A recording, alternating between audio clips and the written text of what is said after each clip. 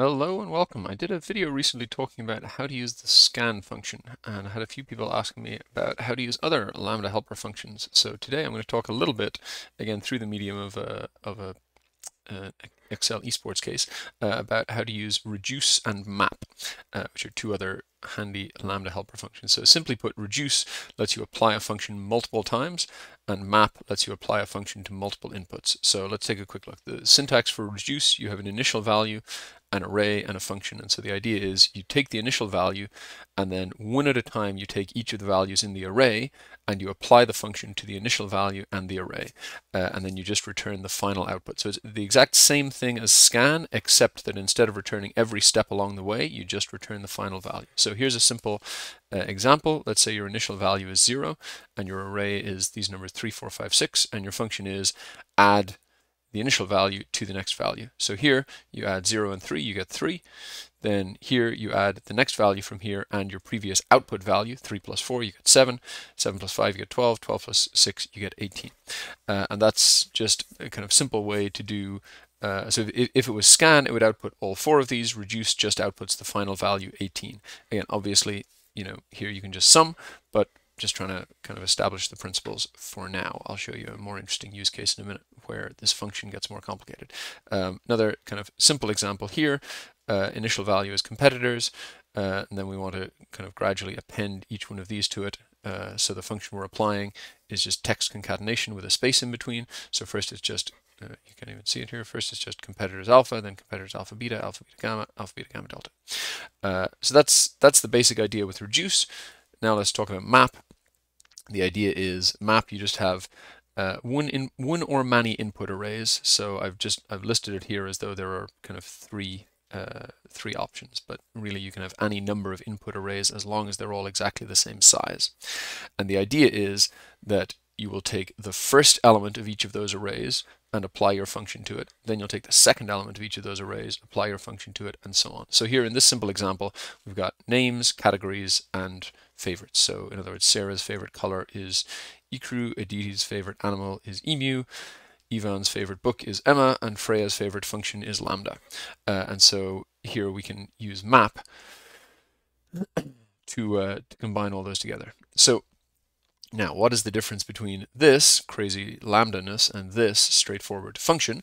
Well, that is the language in which you have to write functions to put them into map or to put them into reduce. So here I've just shown the function in green in, in kind of simple form. It's just, you know, this cell plus this cell, or this cell concatenate with that cell, or, you know, slightly more complicated here, but still just concatenating.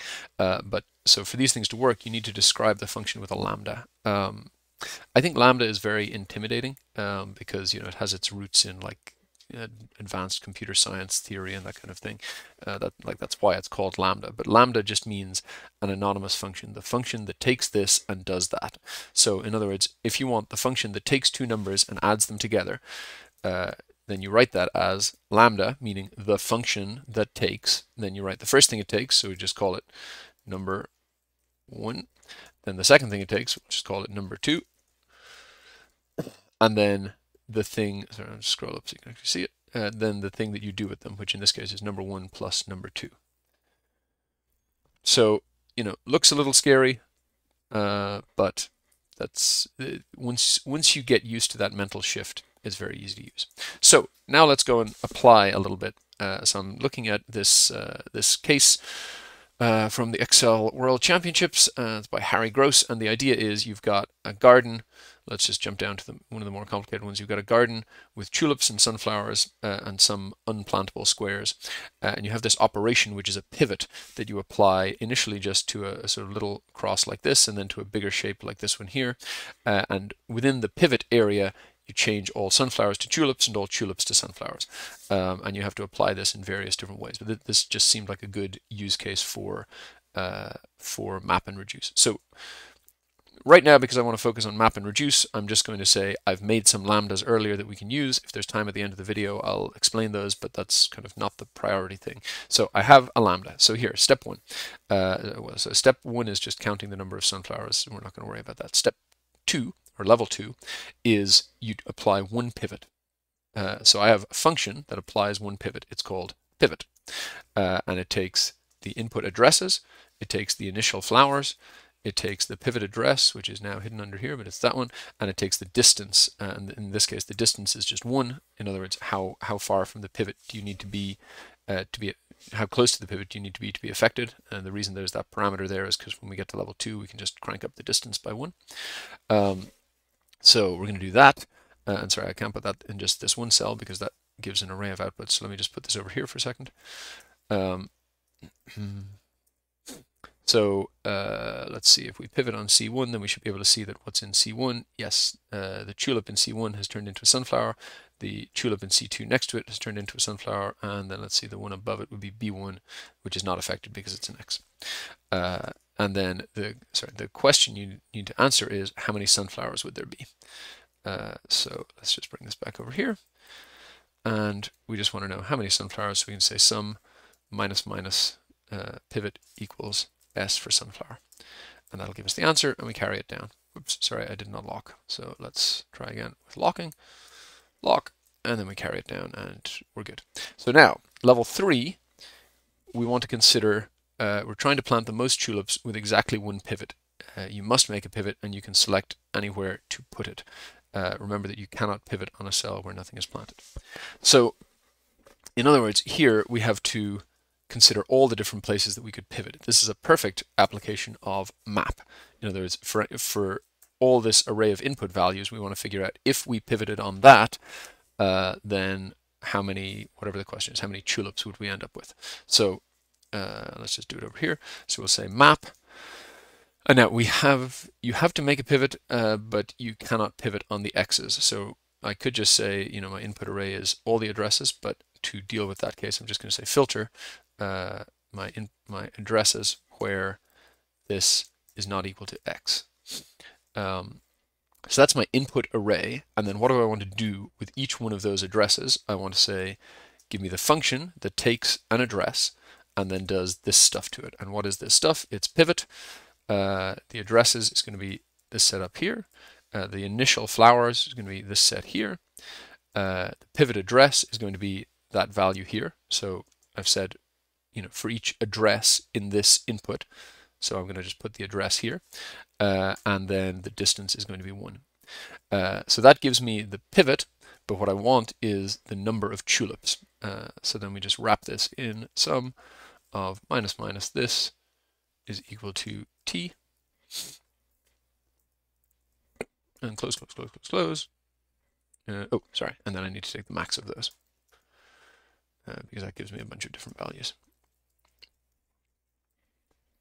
So here, I mean, this this may still feel complicated to you depending on where you are in your Lambda journey, but compared to the, the total complexity of what needs to be done, uh, this is this is a kind of a much simpler way to to apply this to all all the possible inputs. Uh, so then level four uh, is a good use case for reduce, which is um, we want to apply a pivot on a whole series of different squares, one after another. Uh, so here we're going to say reduce. Our initial value is going to be the initial set of flowers.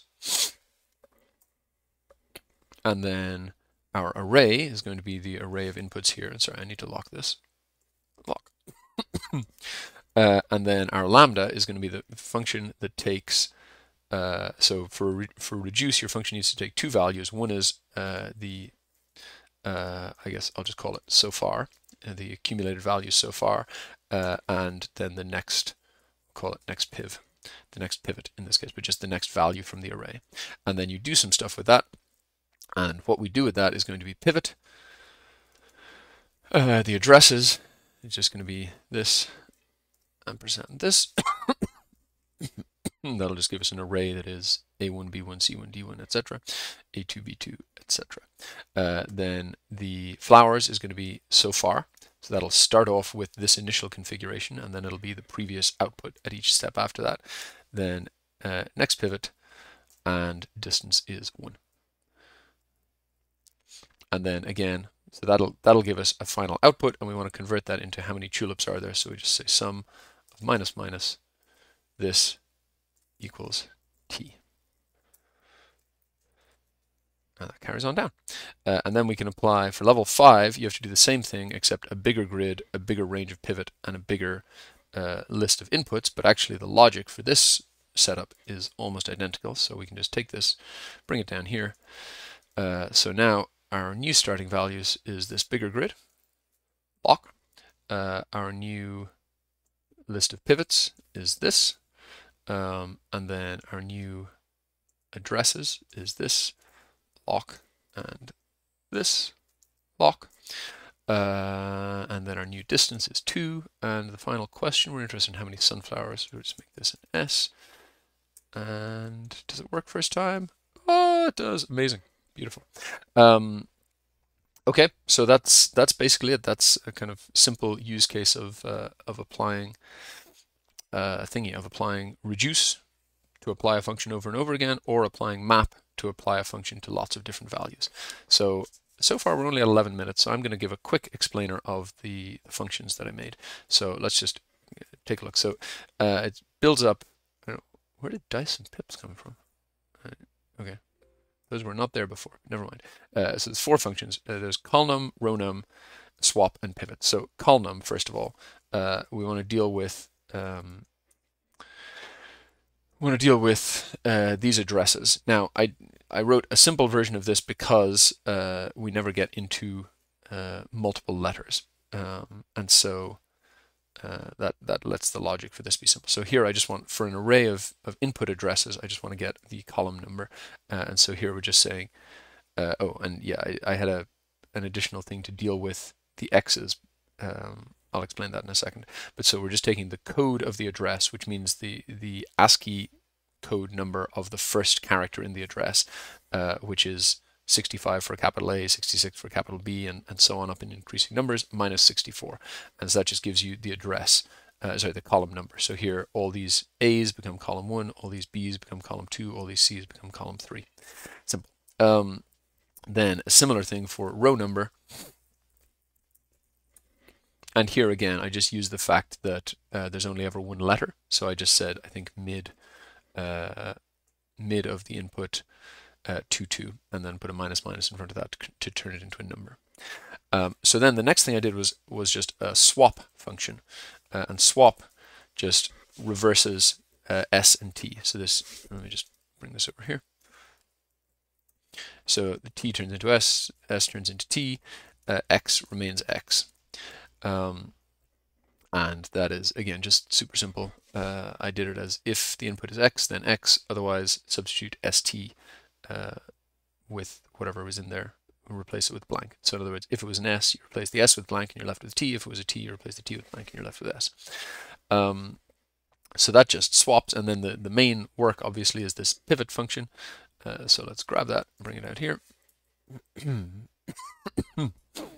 so lot going on here, but so the inputs are the addresses, the flowers, the pivot address, uh, and the distance. And then we're interested in uh, figuring out.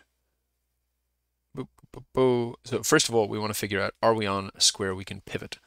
Um, so we're going to check where the address matches the pivot address and where the flower is x, do we have any values? The reason I did it this slightly odd way rather than just an x lookup is because I wanted it to work both here where everything is laid out in a single row, but also down in the later levels where there's a grid. So you can't, you know, x lookup on here because it's 2D.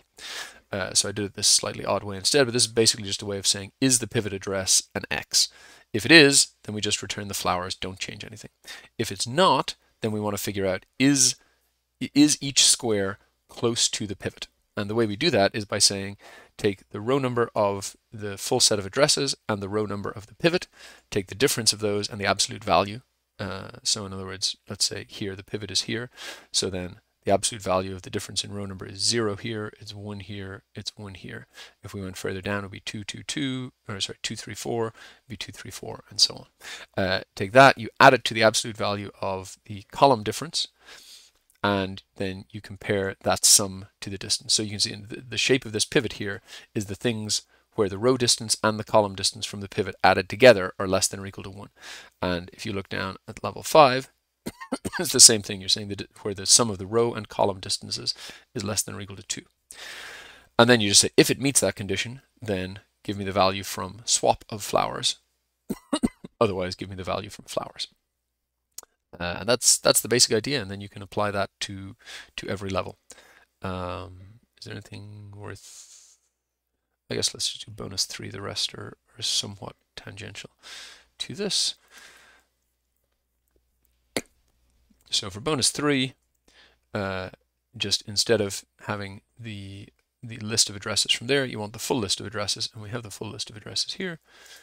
So put that there, and then the output we're interested in tulips instead of sunflowers. So just change that to T, and that checks out. All right, managed to keep it relatively short today. Uh, that's all I got. Thanks for watching. See you next time.